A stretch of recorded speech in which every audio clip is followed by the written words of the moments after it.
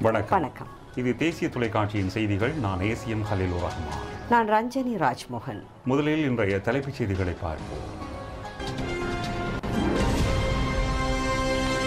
Covid nineteen சுகாதார மற்றும் சமூக பாதுகாப்பு நிதியத்திற்கான வைப்பீடு இருநூற்றி நாற்பத்தி ரெண்டு மில்லியன் ரூபாய் வரை அதிகரிப்பு.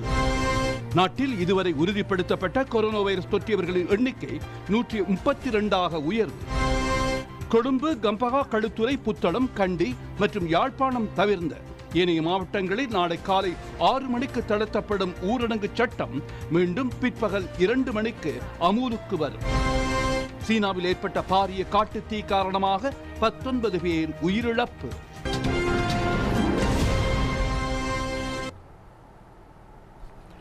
அவை தலைப்புச் செய்திகளின் விரிவான செய்திகளை பார்ப்போம். முதலில் உள்நாட்டு செய்திகள். கொரோனா வைரஸ் பரவலால் சிரமத்துக்கு உள்ளாகியுள்ள வருமானம் குறைந்த முப்பத்தி இரண்டு லட்சத்து எழுபத்தி ஏழாயிரத்து இருநூற்று நாற்பத்தெட்டு பேருக்கு நிதி மற்றும் உலர் உணவு உதவிகள் வழங்கப்பட்டுள்ளன.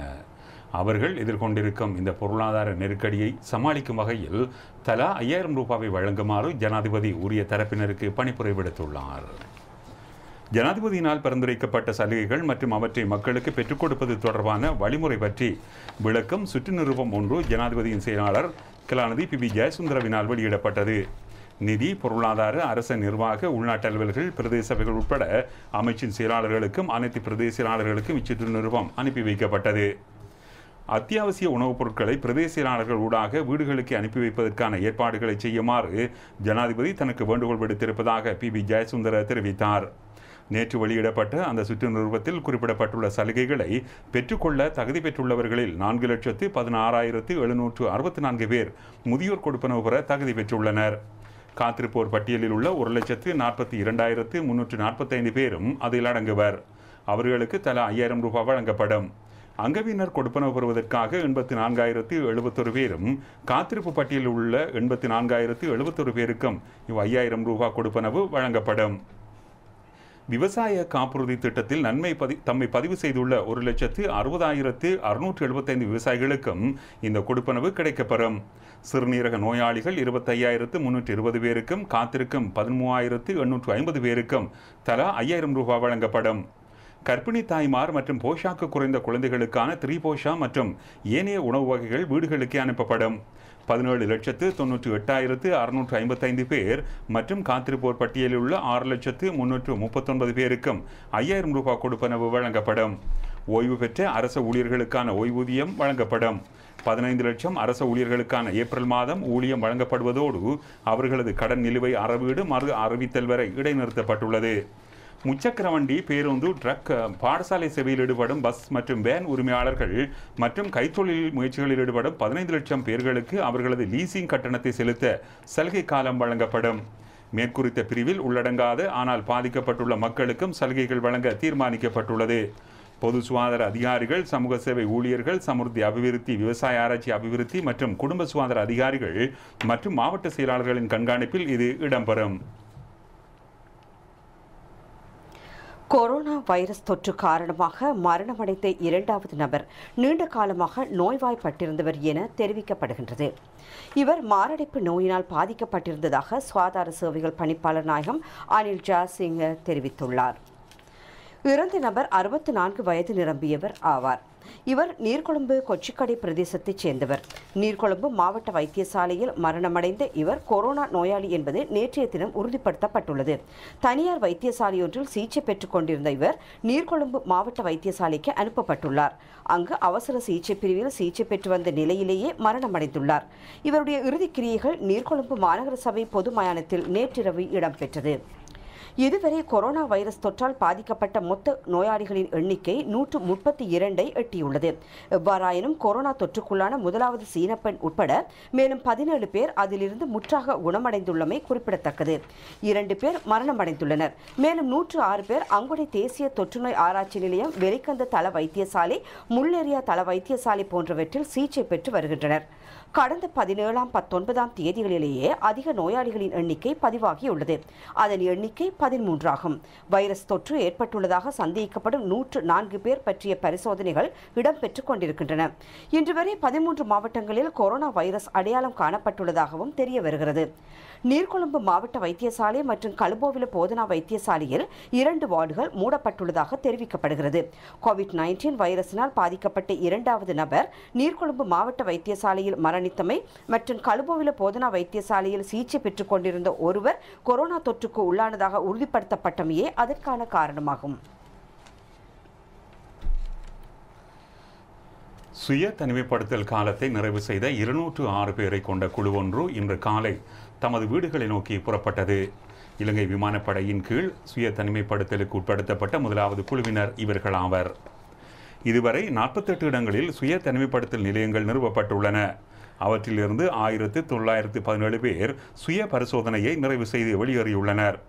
இன்று மேலும் நூற்று மூன்று பேர் சுய தனிமைப்படுத்தலை நிறைவு செய்து வெளியேறியமை குறிப்பிடத்தக்கது.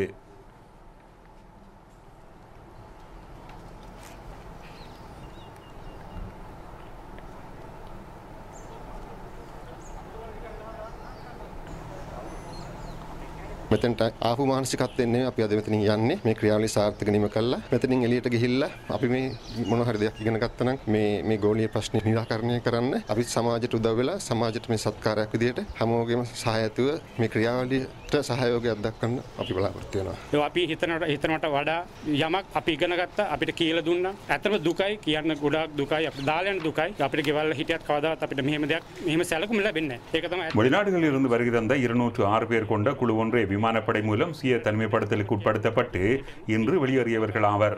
அவர்கள் கடந்த பதினேழாம் தேதி சுய பரிசோதனைக்காக வன்னி விமானப்படை முகாமிற்கு அனுப்பப்பட்டனர். அவர்களில் ஆண்கள் நூற்று எழுபத்தி மூன்று பேரும் பெண்கள் முப்பத்தி மூன்று பேரும் அடங்குவர்.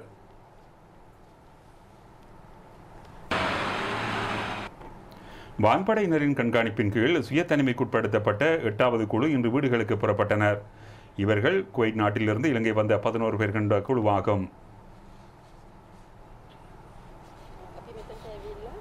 අදට දවස් 15 වෙනි දවසේ ඊයේ දවසේ තමයි දවස් 14 දිනේ සම්පූර්ණ වුණේ. ඉතින් අද තමයි අපි ගෙවලට යන්න යන්නේ ලැහැත්තිලා. ඉතින් මට පළවෙනිම කියන්න තියෙන්නේ මෙතන අපිට පුදුමාකාර විදියට උදව් උපකාර කළා කෑම බීම අතින් புலனர்வை மாவட்டத்தில் சுய தனிமைப்படுத்தல் நிறைவு செய்த நூற்று எண்பது பேர் சமூகத்துடன் இணைக்கப்பட்டுள்ளனர். இவர்கள் இத்தாலி பிரான்ஸ் ஜெர்மனி மற்றும் இங்கிலாந்து போன்ற வெளிநாடுகளிலிருந்து வருகை தந்த சுற்றுலா பயணிகளுடன் நெருங்கி பழகியோர் அவர் அவர்கள் பொது சுகாதார பரிசோதகர்களின் பரிந்துரையின் பேரிலேயே சமூகத்துடன் இணைக்க அனுமதிக்கப்பட்டுள்ளனர். அதேவேளை பலப்பிட்டிய ஹீனட்டிய பிரதேசத்தைச் சேர்ந்த நான்கு பேர் தமது வீட்டிலேயே மேற்கொண்ட சுய தனிமைப்படுத்தலை இன்று நிறைவு செய்துள்ளனர். அவர்கள் இந்தியாவுக்கு சுற்றுலா மேற்கொண்டவர்களாவர். இதேவேளை கொரோனா வைரஸ் மிக வேகமாக பரவுகின்ற நாடுகளிலிருந்து வருகை தந்தோருக்கான சுய தனிமைப்படுத்தல் செயற்பாடுகள் கடந்த பத்தாம் தேதி ஆரம்பிக்கப்பட்டது. அதனை நிறைவு செய்த ஏழாவது குழு நேற்று வெளியேறியது. மட்டக்களப்பு கோரளைப்பற்று பிறைந்துரைச்சேனை பகுதியில் சுய தனிமைப்படுத்தலில் இருந்தவர்கள் கொரோனா வைரஸ் தொற்று நோய் இல்லை என்று உறுதிப்படுத்தப்பட்டதை அடுத்து அவர்களது குடும்பங்களுடன் இணைந்துள்ளனர். கடந்த இரண்டு வாரங்களில் குவைத் கட்டார் துபாய் போன்ற நாடுகளில் இருந்து தாய்நாடு திரும்பியவர்களே இவ்வாறு சுய தனிமைப்படுத்தலுக்கு உள்ளாக்கப்பட்டனர். கோரளைப்பற்று சுகாதார வைத்திய அதிகாரிகள் சுய தனிமைப்படுத்தலில் ஈடுபட்டிருந்தவர்களின் வீடுகளுக்கு சென்று இவர்களுக்கு கொரோனா வைரஸ் இல்லை என்பதை உறுதிப்படுத்தும் சான்றிதழ்களை வழங்கியுள்ளனர்.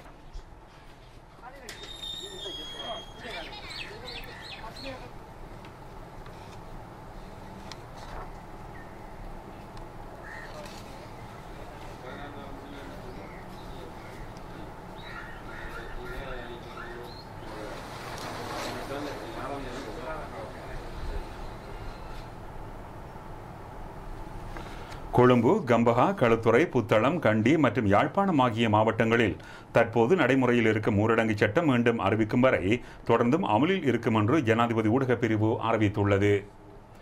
ஏனைய மாவட்டங்களில் நாளை காலை ஆறு மணிக்கு தளர்த்தப்படும் ஊரடங்கு சட்டம் மீண்டும் பிற்பகல் இரண்டு மணிக்கு அந்த பகுதிகளில் அமுல்படுத்தப்படும். அத்தியாவசிய விடயங்கள் தவிர்ந்த ஏனைய விடயங்களுக்காக மாவட்டங்களுக்கு இடையில் பயணிப்பதும் தடை செய்யப்பட்டுள்ளது. அத்தியாவசிய சேவைகளை சேத்துருடன் முன்னெடுப்பதற்காக செய்யப்பட்டுள்ள ஏற்பாடுகளுக்கு இடையூறாக செயற்படுபவர்களுக்கு எதிராக சட்ட நடவடிக்கைகள் எடுக்கப்படும். மக்களின் நன்மை கருதி அரசாங்கம் எடுத்து வரும் நடவடிக்கைகளுக்கு அனைவரும் ஒத்துழைப்பு வழங்க வேண்டும் என்றும் தெரிவிக்கப்பட்டுள்ளது.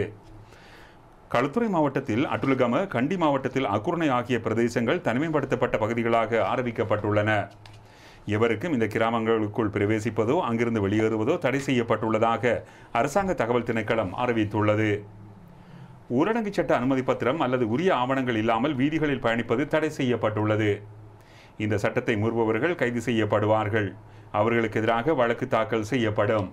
இவர்களை மருத்துவ அதிகாரிகளிடம் சமர்ப்பித்து அறிக்கைகள் பெறுவதற்கும் நடவடிக்கை எடுக்கப்படும்.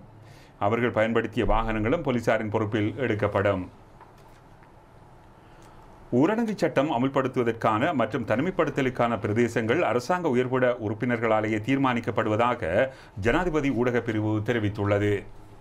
குறிப்பிட்ட ஒரு பிரதேசத்தில் அமுல்படுத்தப்பட்டிருக்கும் ஊரடங்கு சட்டத்தில் மாற்றங்களை ஏற்படுத்துவதாயின் அந்த பிரதேசம் தொடர்பான அனைத்து தகவல்களையும் ஜனாதிபதியினால் நியமிக்கப்பட்டுள்ள வைரஸ் கட்டுப்பாட்டுக்கான ஜனாதிபதி செயலணிக்கு அறிவிக்க வேண்டும் என்றும் தெரிவிக்கப்படுகிறது. பொதுமக்கள் முறைப்பாடுகளுக்கான ஜனாதிபதி காரியாலயத்தின் பொதுமக்கள் தொடர்பாடல் பிரிவு இருபத்தி நான்கு மணித்தியாலமும் செயற்படும். ஜனாதிபதி கோட்டாபய ராஜபக்ஷவின் பணிப்புரையின் பேரிலேயே இது முன்னெடுக்கப்படுகிறது. இந்த பிரிவுக்கு தனிப்பட்ட நபர்கள் மற்றும் அமைப்புகள் நாளொன்றுக்கு பல அழைப்புகளை மேற்கொள்வதாக தெரிவிக்கப்படுகின்றது. அதில் பலவற்றுக்கு உடனடி தீர்வு வழங்குவதற்கான நடவடிக்கைகள் மேற்கொள்ளப்பட்டுள்ளன. மக்கள் தொடர்பாடல் பிரிவால் தீர்க்க முடியாத பிரச்சினைகளை உரிய ஏனைய பகுதிகளின் கவனத்திற்கு கொண்டு வரப்படும் ஜனாதிபதியின் பணிப்புரையின் பேரில் ஜனாதிபதி செயலாளர் மூலமாக கொள்கை ரீதியான தீர்மானங்கள் எடுக்கப்படும். அரச உத்தரவுகளை மீறுதல் அல்லது பொதுமக்களை அசௌகரியங்களுக்கு உள்ளாக்கும் வகையில் நடந்து கொள்வது பற்றி சைபர் ஒன்று ஒன்று நான்கு முன்னூற்று ஐம்பத்து நான்கு ஐநூற்று ஐம்பது மற்றும் சைபர் ஒன்று ஒன்று நான்கு நானூற்று முப்பத்தைந்து அறுநூற்று ஐம்பத்தைந்து ஆகிய இலக்கங்களுக்கு தெரிவிக்க முடியும். அந்த இலக்கத்தை தொடர்பு கொள்ள முடியவில்லையாயின் சைபர் ஒன்று ஒன்று இரண்டு முன்னூற்று ஐம்பத்து நான்கு முன்னூற்று ஐம்பத்து நான்கு என்ற இலக்கத்தை அழைக்க முடியும். கோவிட் நைன்டீன் நோய் தொற்றியுள்ளதாக சந்தேகம் ஏற்பட்டால் உடனடியாக வைத்தியசாலைக்கு செல்லாமல் போலீசாருக்கு அறிவிக்குமாறு பொதுமக்களை கேட்டுக்கொள்கின்றோம். அவர்களுக்கு அவசியமான நடவடிக்கைகளை மேற்கொள்ள போலீசார் தயாராக இருப்பதாக பிரதி போலீஸ் மா அதிபர் அஜித் ரோஹன தெரிவித்தார். பிரதி போலீஸ் மா அதிபர் அஜித் ரோஹன கருத்து வெளியிடுகையில் தொற்று நோய்க்கு உள்ளாகிய பலர் அதனை மறைத்து சாதாரண நோயாளிகள் போன்று வைத்தியசாலைக்கு வருகின்றனர். இதனால் வைத்தியர்கள் உட்பட சுகாதாரத்துறை ஊழியர்கள் அனைவரும் பாதிக்கப்படுகின்றனர். எனவே குறித்த நோய்க்கான அறிகுறிகள் தென்படும் இடத்து உடனடியாக வைத்தியசாலைக்கு வருவதை தவிர்த்து ஒன்று ஒன்று ஒன்பது என்ற அவசர இலக்கத்திற்கு தொடர்பினை ஏற்படுத்தி இந்த நோய் தொடர்பான விளக்கங்களையும் தமக்கு அவசியமான சேவைகளையும் பெற்றுக்கொள்ள முடியும் என்று தெரிவித்தார்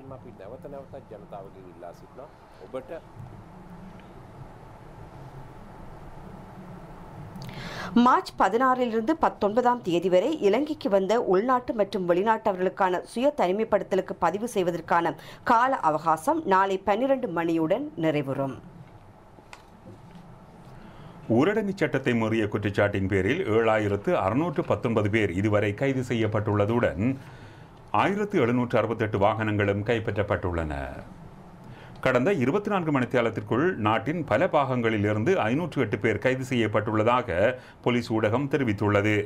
மேலும் நூற்றி இருபத்தைந்து வாகனங்களும் கைப்பற்றப்பட்டுள்ளன. இதேவேளை கொழும்பு கம்பஹா களுத்துறை புத்தளம் கண்டி மற்றும் யாழ்ப்பாணம் ஆகிய மாவட்டங்களில் அமுல்படுத்தப்பட்டிருக்கும் ஊரடங்கு சட்டம் மறு அறிவித்தல் வரை நீடிக்கும். ஏனைய மாவட்டங்களுக்கான ஊரடங்கு சட்டம் நாளை காலை ஆறு மணிக்கு நீக்கப்பட்டு பிற்பகல் இரண்டு மணிக்கு அமுல்படுத்தப்படும்.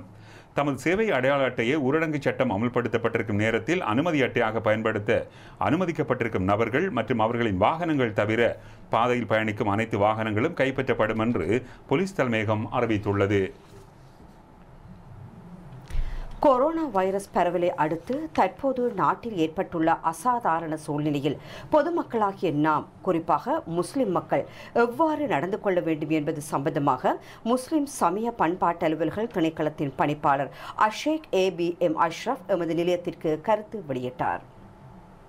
நாட்டில் இன்று ஏற்பட்டுள்ள இந்த கொரோனா வைரஸ் பரவலினால் ஏற்பட்டிருக்கக்கூடிய இந்த அசாதாரண நிலைமையை எதிர்கொள்ளுகின்ற விஷயத்திலே நான் முக்கியமாக சில செய்திகளை முஸ்லிம் சமூகத்தோடு பகிர்ந்து கொள்ள விரும்புகின்றேன். குறிப்பாக பள்ளிவாயல் நிர்வாகிகளுக்கு நாங்கள் பல பலமுறை அறிவித்திருக்கின்றோம். திரும்பவும் நான் ஞாபகப்படுத்த விரும்புகின்றேன். நாட்டிலே ஊரடங்கு சட்டம் பாதுகாப்பு தரப்பினரால் நடைமுறைப்படுத்தப்படுகின்ற போது எங்களுடைய திணைக்களமோ வகுப் சபையோ உங்களுக்கு எந்த வழிகாட்டலும் தர தராவிட்டாலும் கூட நீங்கள் யாரும் பள்ளிவாயலில் யாரையும் நுழைய அனுமதிக்க முடியாது. வீடுகளிலிருந்து வெளியேற முடியாது.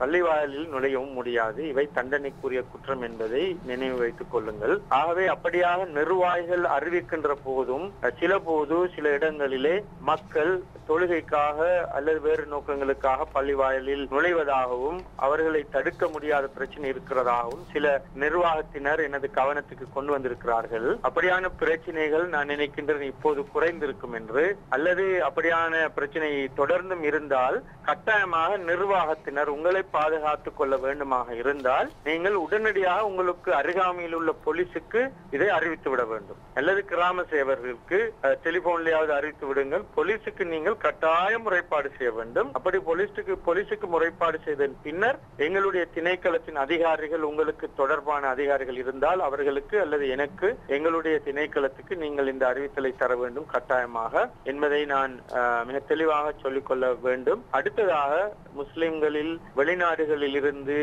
மார்ச் மாதம் பதினாறாம் தேதி அல்லது அதற்கு பிறகு இலங்கைக்குள்ளே யாராவது வந்திருந்தால் உங்களை நீங்கள் அரச அதிகாரிகள் குறிப்பாக சுகாதாரத்துறை அல்லது போலீஸுக்கு உங்களை பற்றிய தகவலை உடனடியாக கொடுத்து பதிவு செய்து கொண்டு உங்களை நீங்கள் தனிமைப்படுத்துவதற்கு உடனடியாக நீங்கள் நடவடிக்கை எடுக்க வேண்டும். அதற்கான அவகாசம் நாளை ஏப்ரல் முதலாம் திகதி பனிரெண்டு மணி வரையில் தரப்பட்டிருக்கிறது. ஆகவே மிக விரைவாக உங்களை நீங்கள் பதிவு செய்து கொண்டு தனிமைப்படுத்தல் நீங்கள் உங்களை உட்படுத்திக் கொள்ளுங்கள். அப்படி அல்லாத போது நீங்கள் கை செய்து கைது செய்யப்படுவீர்கள் என்பதை போலீஸ் தரப்பு அறிவித்திருக்கிறது என்பதையும் உங்களுக்கு அறிய தருகின்றேன்.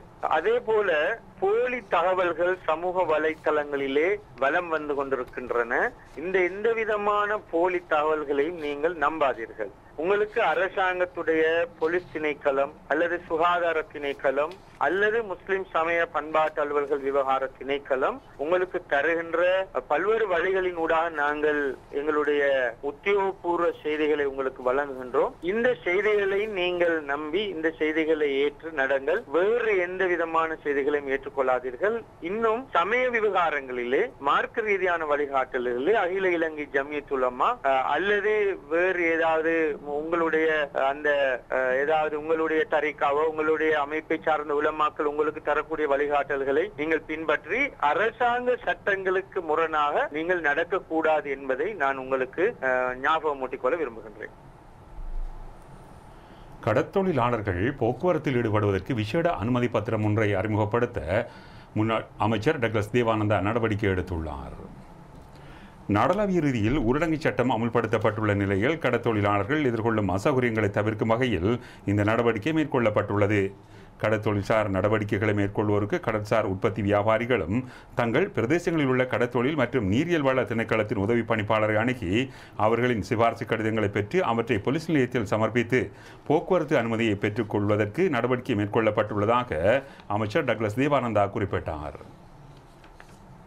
கோவிட் நைன்டீன் சுகாதார மற்றும் சமூக பாதிப்புக்கான பாதுகாப்புக்கான நிதியத்திற்கான அன்பளிப்புகள் இருநூற்று நாற்பத்தி ரெண்டு மில்லியன் ரூபாவையும் தாண்டியுள்ளது.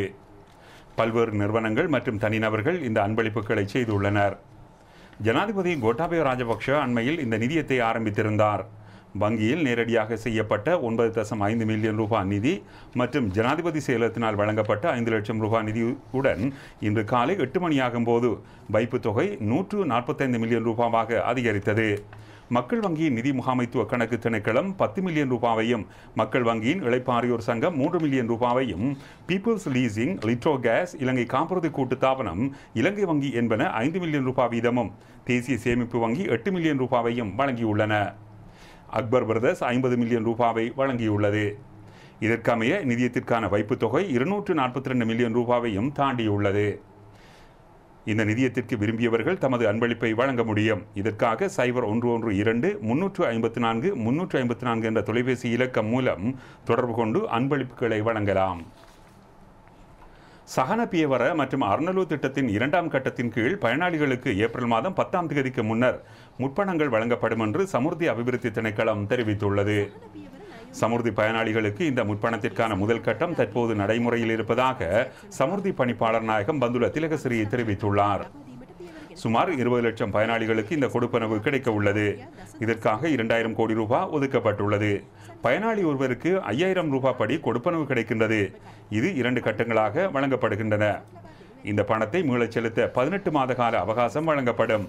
வட்டி எதுவும் அறவிடப்பட மாட்டாது என்று சமுர்த்தி அபிவிருத்தி திணைக்களம் தெரிவித்துள்ளது. சகன பியவர கடன் வழங்கும் திட்டத்தின் கீழ் புத்தளம் மாவட்டத்தில் அறுபத்தி நான்காயிரத்து ஐநூறு பயனாளிகளுக்கு அறுநூற்று நாற்பத்தைந்து கோடி ரூபாய் பகிர்ந்தளிக்கப்பட்டுள்ளது. முதல் கட்டத்தில் ஐயாயிரம் ரூ- குடும்பங்கள் இந்த நன்மையை பெறும். வீடுகளுக்கு சென்று இந்த கடன் தொகைகள் வழங்கப்பட உள்ளன. பாதுக்க பிரதேச செயலகத்திலும் மூவாயிரத்து நூறு சமுர்த்தி பயனாளிகளுக்கு ஐயாயிரம் ரூபாய் வீதம் கடன் முற்படங்கள் நேற்று வழங்கப்பட்டன.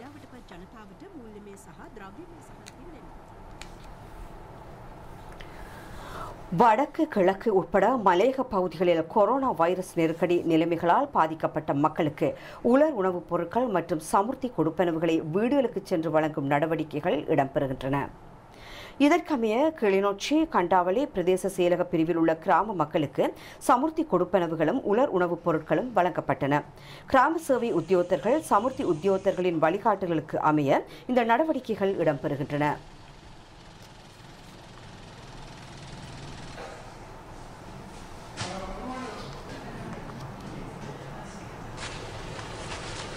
மட்டக்களப்பு மாவட்டத்தில் உள்ள பல்வேறு பிரதேச செயலக பிரிவுகளில் வாழும் மக்களுக்கு வீடுகளுக்கு சென்று உலர் உணவுப் பொருட்களையும் சமுர்த்தி பயனாளிகளுக்கு கொடுப்பனவுகளையும் வழங்கும் நடவடிக்கைகள் இடம்பெற்றுள்ளன.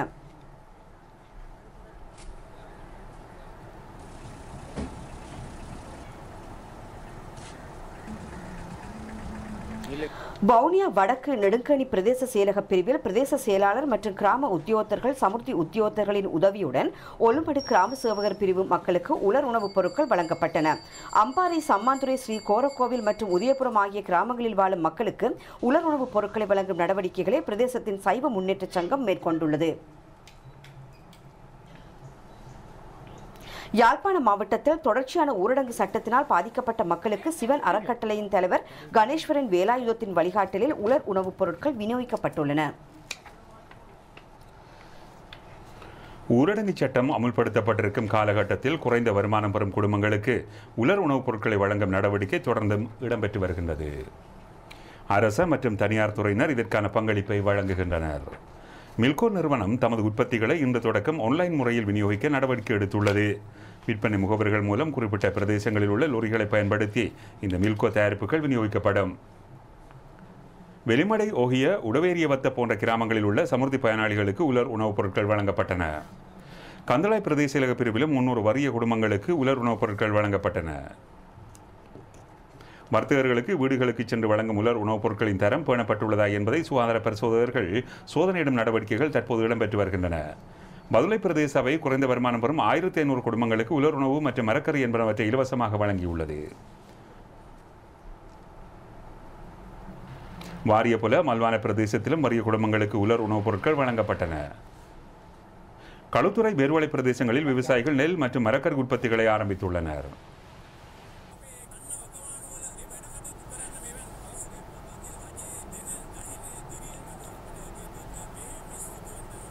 காலி அக்மிமான பின்னதுவ பிரதேசத்தில் விவசாயி ஒருவர் தனது விவசாய பண்ணை ஊடாக மரக்கறி உட்பட பல்வேறு உற்பத்திகளை மேற்கொண்டு வருகின்றார். இதன் மூலம் மக்களுக்கு தேவையான உணவுப் பொருட்கள் கிடைத்து வருகின்றன. அனுராபுரம் கீதோகம மற்றும் பாவற்குளம் ஆகிய பகுதிகளில் விவசாய உற்பத்தி நடவடிக்கைகள் ஆரம்பிக்கப்பட்டுள்ளன. சீதாவக்க பிரதேச சபை வறிய மக்களுக்கு உலர் உணவுப் பொதிகளை வழங்கியுள்ளது. இணையதளம் மற்றும் தொலைபேசி மூலம் மக்களுக்கு தேவையான மருந்து பொருட்களை வழங்கும் நடவடிக்கை அரசு மருந்தகங்கள் மூலம் மேற்கொள்ளப்படுகின்றன. எதிர்வரும் பரிசுத்த வாரத்தை முன்னிட்டு கத்தோலிக்க மத ஆராதனைகளை நேரடியாக ஒளிபரப்புவதற்கு இலங்கை ரூபவாகினி கூட்டுத்தாபனம் நடவடிக்கை எடுத்துள்ளது. நேற்று கொழும்பு அதிமேற்றுராணியார் கர்தினால் மல்கம் ரஞ்சித் ஆண்டகையுடன் இடம்பெற்ற பேச்சுவார்த்தையை அடுத்து இந்த தீர்மானம் எடுக்கப்பட்டது. பரிசுத்த வாரத்தையொட்டிய கத்தோலிக்க மத சேவைகள் தொடர்பாக கொழும்பு அதிமேற்றுராணியார் உத்தியோகபூர்வமாக அறிவிக்க இருக்கின்றார். கத்தோலிக்க ஆலோசனை சபை இந்த நிகழ்வுகளை ஊடகங்கள் மூலம் நேரடியாக ஒளிபரப்புவதற்கான ஆலோசனையை மேற்கொண்டுள்ளது. தற்போதைய அசாதாரண சூழ்நிலையை கருத்தில் கொண்டு கத்தோலிக்க மத பக்தர்களுக்கு இந்த சேவைகளை வழங்கும் நோக்குடன் இந்த தீர்மானம் மேற்கொள்ளப்பட்டுள்ளது. இதேவேளை ராகம தேவத்தே பெஸ்லிகாவில் இருந்து இம்மாதம் மூன்றாம் தேதி இடம்பெறும் கத்தோலிக்க ஆராதனைகளை தேசிய தொலைக்காட்சியின் மூலம் நேரடியாக ஒளிபரப்பும் என்பது குறிப்பிடத்தக்கது. கொரோனா வைரஸ் பரவலானது ஆசிய நாடுகளின் பொருளாதாரத்தில் பாரிய தாக்கத்தை விளைவித்துள்ளதாக உலக வங்கி குறிப்பிடுகின்றது. மேற்கத்திய நாடுகளைப் போன்றே ஆசிய வலயத்துக்குட்பட்ட நாடுகளும் பாரிய பொருளாதார நெருக்கடியை சந்திக்க வாய்ப்புகள் நிலவுகின்றன. கொரோனா வைரஸ் பரவலை தொடர்ந்து உலக பொருளாதாரத்திற்கு அதிக பாதிப்பு ஏற்பட்டுள்ளது.